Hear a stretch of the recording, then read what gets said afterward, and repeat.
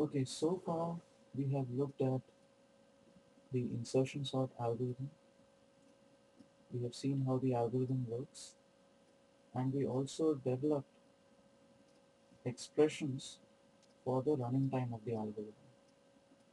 We developed expressions for the worst case time which is given by k prime multiplied by n minus 1 plus k1 times n n minus 1 by 2 the average case time has a similar expression except for uh, a 4 in, in place of a 2 over here. And the best case time is k prime times n minus 1.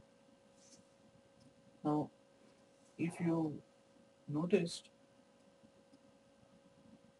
trying to come up with ex exact expressions for these running times was a was a little bit complicated.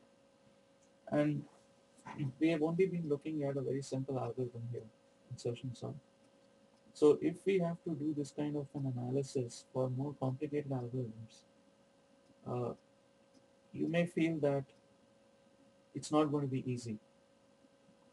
So in an effort to make it easy, I'm going to describe a notation which will help us understand these running times in a more intuitive way. What we will do is as a, as a step towards simplification of these expressions, we are going to focus only on values of the running times for input sizes that are very, very large. In other words, we are going to worry about the values of t of n as n tends to infinity. And one of the reasons for doing that is, of course, uh, that in, in, in the real world, your input sizes may actually be very large. And something special happens when you go to input sizes that are that large, which is that in these expressions,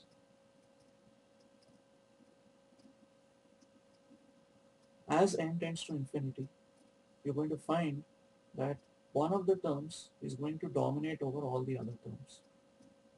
So, for example, if you if you take this best case time here, k prime multiplied by n minus 1, well, we can express this as k prime multiplied by n minus k prime.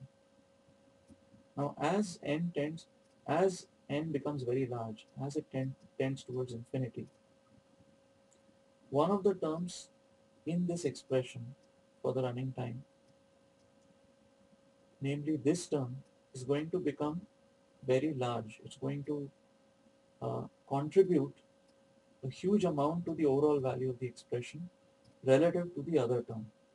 Okay, so we say that one of the terms is going to dominate over other terms. And usually these other terms are going to be lower order terms. By lower order, I mean that the powers of n that you will see in those other terms are going to be lower than the power of n that the dominant term has, which is usually going to be the highest power of n in the overall expression. So k prime times n is going to dominate the value of this whole expression as n becomes very large. In a similar way, we can express the average case time here as k prime multiplied by n minus k prime plus k1 times n square by 4 minus k1 times n by 4.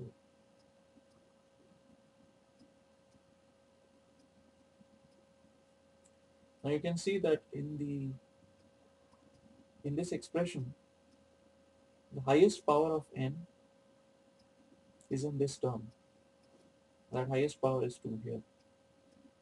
Now as n becomes very large, what's going to happen is that the value of this particular term, k1 times n square by 4, is going to contribute more and more towards the overall value of this expression.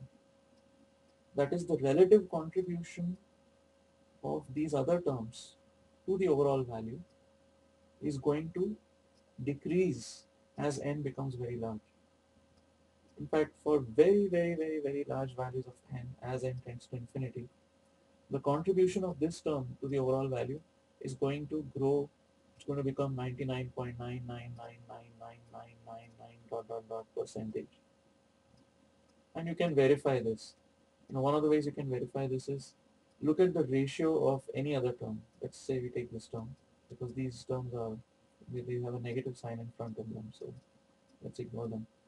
Uh, let's look at this term.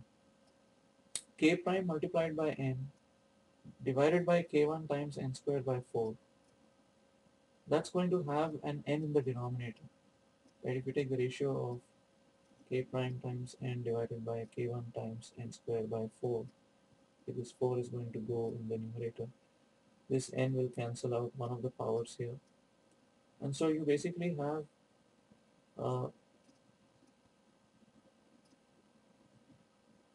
4 k prime divided by k1 this ratio of course is a constant multiplied by 1 by n.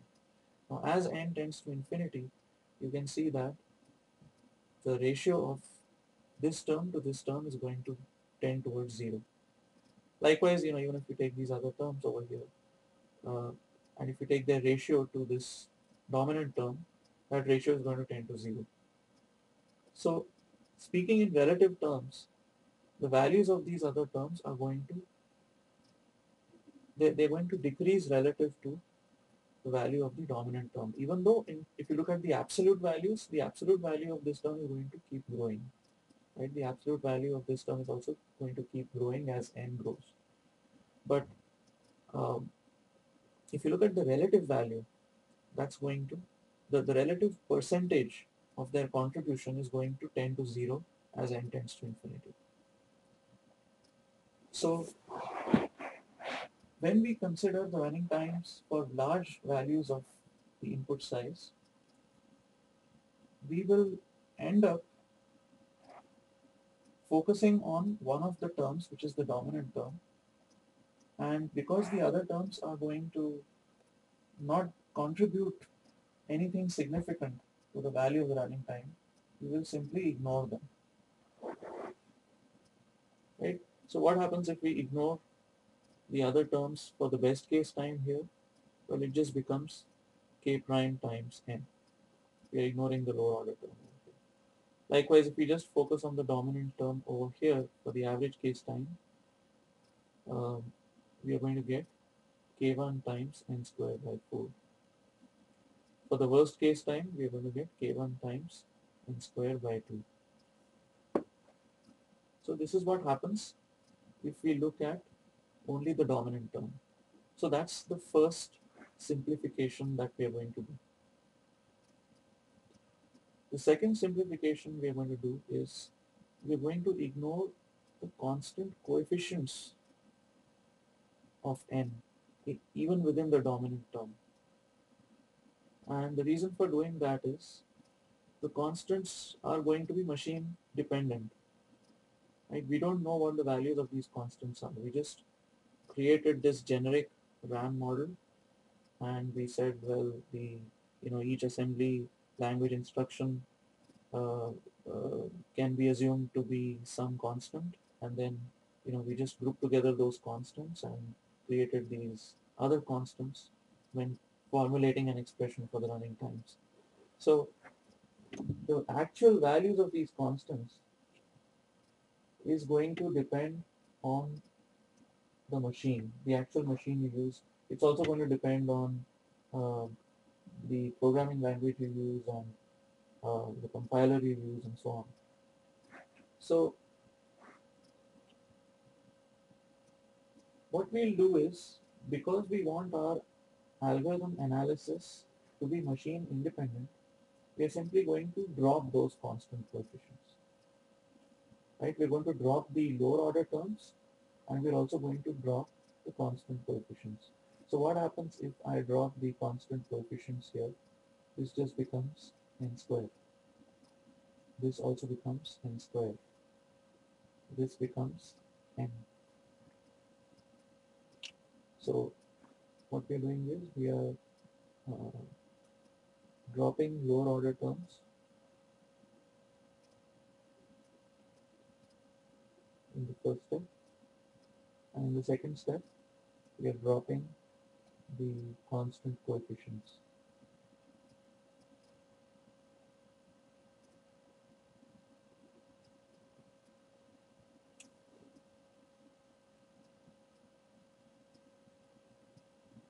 Because they are machine dependent. And why do we want to ignore these machine dependent constants? Is it just because we don't know how to estimate their value? Well, that's part of the reason, but the other reason is that, uh, you know, the, the, the perform, the, the machines can change, right? So the performance of an individual machine or a particular piece of hardware, um, it can change over time right? As there are improvements in the hardware, as you get more and more powerful machines, these constants will change. But you don't want to redo all the analysis of your insertion sort algorithm simply because you're going to now run it on a different machine five years from now. So this step of simplification therefore is important because it allows our analysis to apply regardless of what machine you're running it on as long as the machine approximately fits into the RAM model.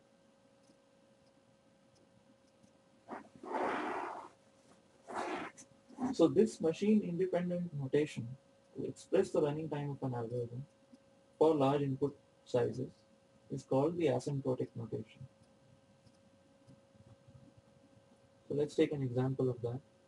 Um, well, we've already taken three examples here. The worst case T of n time can be written as, so the, we won't say that the worst case time is equal to n squared because um, you know it's not exactly equal to n squared. We'll say that the worst case time is equal to theta of n squared. So we are using this theta notation here to indicate that the worst case time is not exactly equal to n squared, but it is equal to some expression where n square is the dominant term or, or the dominant term contains n square.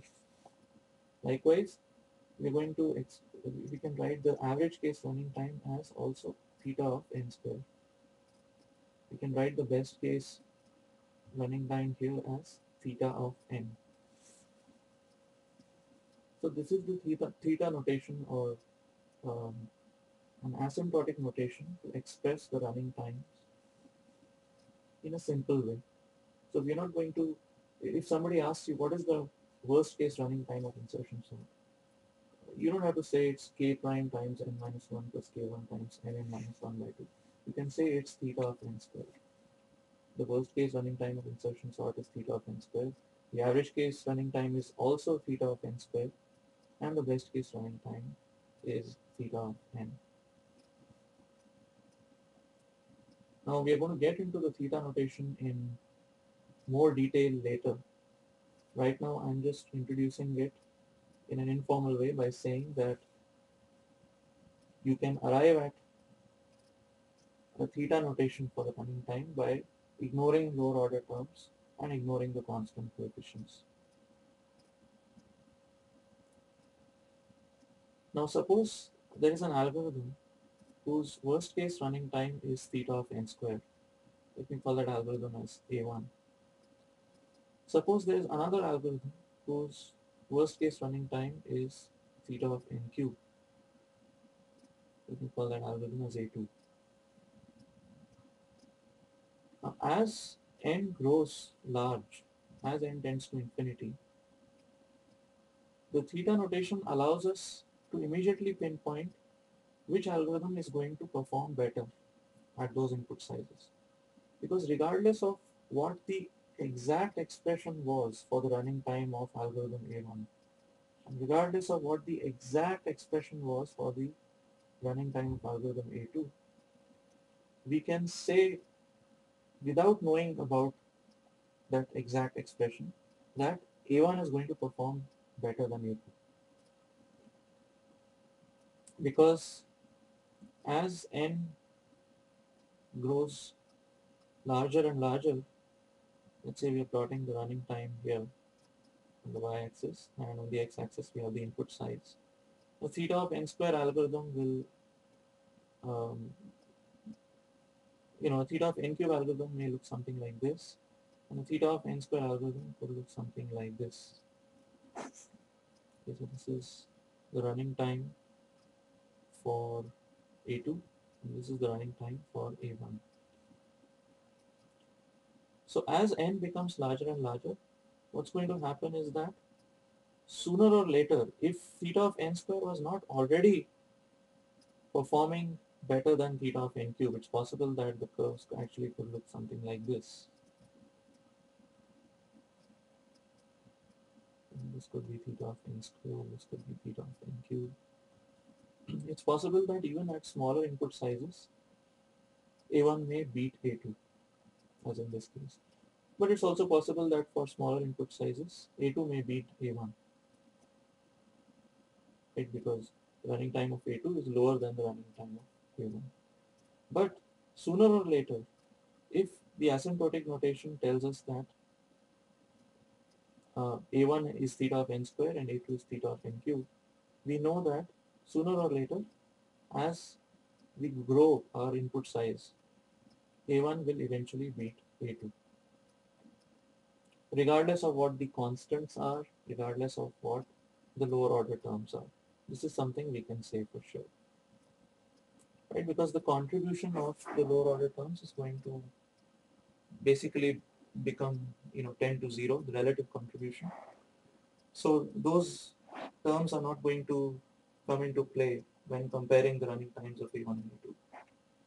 And as for the constant coefficients, uh, you know, you can you can choose any constant. So let's say uh, let's say the dominant term for a2 was k k2 times n cube. Let's say the dominant term for a1 was some constant k1 times n square.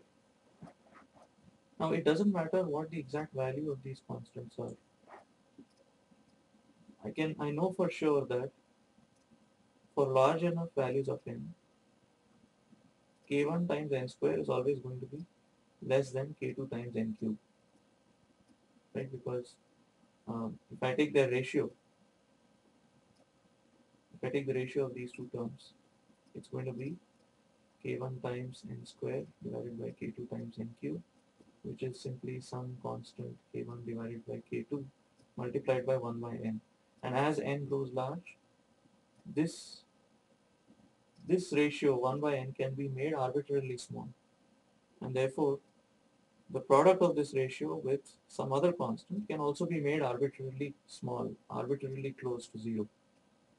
So for large values of n, we know that the dominant, the value of the dominant term is going to be larger for the theta n cube algorithm. In other words, the value of the dominant term is going to be smaller for A1 and so A1 is going to perform better than A2. So this is how we are going to simplify the running times. So for, for future algorithms that we take up, we are not going to be concerned about developing a full-blown expression for the running time. We are going to be more concerned about what the running time in theta notation is. And that is what we are going to state as the overall running time, whether it's worst case or average case or best case.